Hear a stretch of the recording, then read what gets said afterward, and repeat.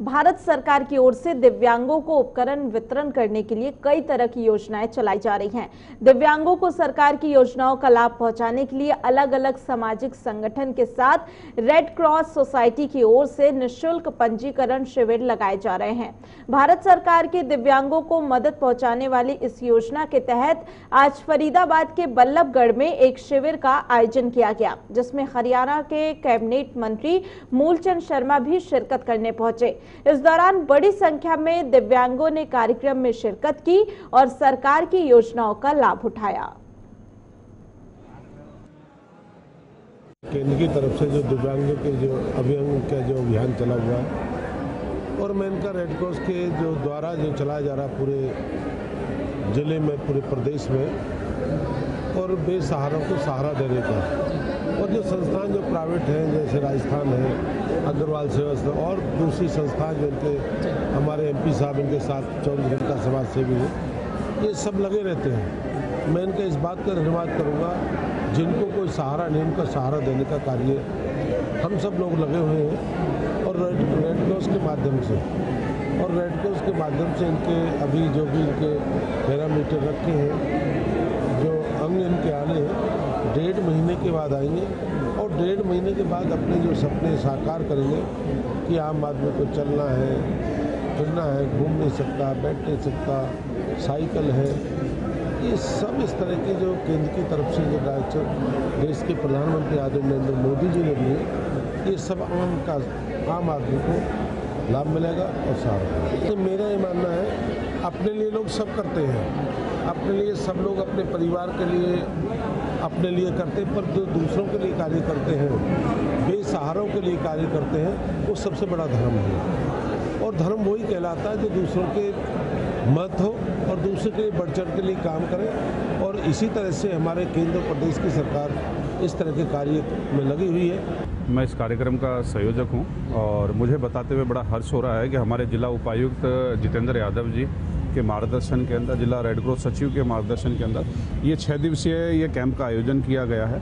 इसमें विभिन्न सामाजिक संगठनों का हम लोगों को सहयोग मिल रहा है। अग्रवाल धर्मशाला है, अग्रवाल मंदिर है, जिसके आनंद जी हमारे साथ में हमारे खड़े हुए हैं। राजस्थान एसोसिएशन है, हमारे तिगांव के अंदर विधायक साहब हैं, हमारे मतलब बहुत से विभिन्न अवधि समाज के अंदर हम लोगों का ये छः दिवसीय कैंप लगाया का जो आयोजन किया जा रहा है। मैं आप सभी को बताना चाहूँगा, उद्देश्य बड़ा स्पष्ट है। सरकार के द्वारा बहुत सारी योजनाएँ चला जा चलाई जा रही हैं। वो जनमानस तक ज़्यादा से ज़्यादा पहुँचे उसी उद्देश्य के साथ के अंदर पूरे शहर के अंदर। अभी जैसा कि आपने देखा हमारे फरीदाबाद के लोकप्रिय हरियाणा सरकार में केंद्रीय कैबिनेट मिनिस्टर पंडित मूलचंद शर्मा जी के द्वारा विधिवत इसका उद्घाटन किया गया था। और यहाँ पे आज देख रहे हैं कि करीबन 200 से 300 लोग अभी यहाँ पे उपस्थित हैं। पूरे दिन ये कैंप चलने वाला है और उनका जाँच, माप, शिविर के अंदर उन लोगों का पूरा डाटा इकट्ठा किया जाएगा। और उसके बाद में उन्हें लाभान्वित करा जाएगा। भारत सरकार की ओर से दिव्यांगों को उपकरण वितरित करने का जो अभियान जो है सामाजिक एवं दिव्यांग विभाग की ओर से जो चलाया जा रहा है उसको आज बल्लमगढ़ में यहाँ पर देखने को मिला है, जहाँ पर दिव्यांगजनों को उपकरण वितरित करने का एक शिविर आयोजन किया गया था और उसमें निःशुल्क पंजीकरण, सह परीक्षा शिविर का आयोजन यहाँ पर किया गया था ताकि ऐसे लोगों को मदद मिल सके, ऐसे लोगों को सहायता मिल सके। इस तरह से लगातार भारत सरकार की योजनाएँ हैं, जो चलाई जा रही हैं, इसी योजना के तहत आज बल्लभ बल्लभगढ़ में यहाँ पर हरियाणा के कैबिनेट मंत्री मूलचंद शर्मा पहुँचे थे साथ ही रेड क्रॉस सोसाइटी की ओर से जो अधिकारी गण थे वो यहाँ पर पहुँचे और उनकी ओर से ये शिविर का आयोजन किया गया है और लोग यहाँ पर बढ़ चढ़ जो है हिस्सा ले रहे हैं। क्या कुछ मदद दी जा रही है यहाँ पर? क्या कुछ कहना चाहेंगे आप सरकार के इस योजना बढ़िया मदद दी जा रही है जी। कैंप फैंप लगते ही रहना है जी। अच्छा। हमारे लिए पेंशन की रजिस्ट्रेशन करा लिया?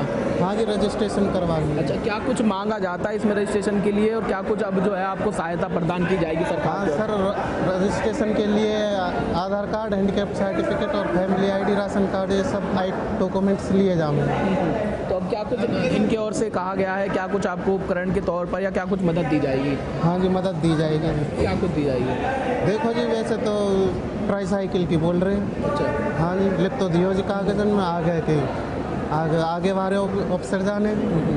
तो बिल्कुल, देखिए, ये एक योजना के तहत फरीदाबाद में ये जो योजनाएँ हैं, ये चलाई जा रही हैं। आज चौबीस मई को अग्रसेन भवन में इस तरह का शिविर लगाया गया है। फिर 25 मई 26 सत्ताईस, अट्ठाईस, ये तमाम जो दिन हैं, इनके अलग अलग सेंटरों में ये जो निःशुल्क शिविर लगाए जाएँगे। उसमें रजिस्ट्रेशन कराने के बाद जो है सहायता प्रदान की जाएगी और उसके बाद कहीं ना कहीं जो ये सरकार की ओर से जो योजनाएँ चलाई जा रही हैं, इसका लोग लाभ उठा रहे हैं। और ऐसे में जो भारत सरकार की ओर से जो योजनाएँ हैं, उसमें दिव्यांगों को उपकरण वितरित करना हो या फिर अलग अलग सहायता दी जाए, उसको लेकर जो है इस तरह के शिविर आयोजन किए गए थे। यहाँ पर जो है हरियाणा के कैबिनेट मंत्री मूलचंद शर्मा पहुँचे थे और उन्होंने यहाँ पर लोगों से बातचीत की, पूछा उनका हालचाल जाना और यदि कोई समस्या आती है तो उनसे संपर्क साधने की बात कही है।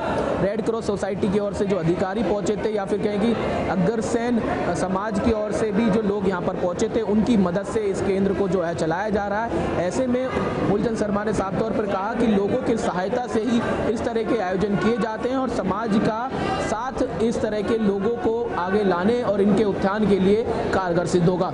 सहयोगी राकेश के साथ संदीप गोयल।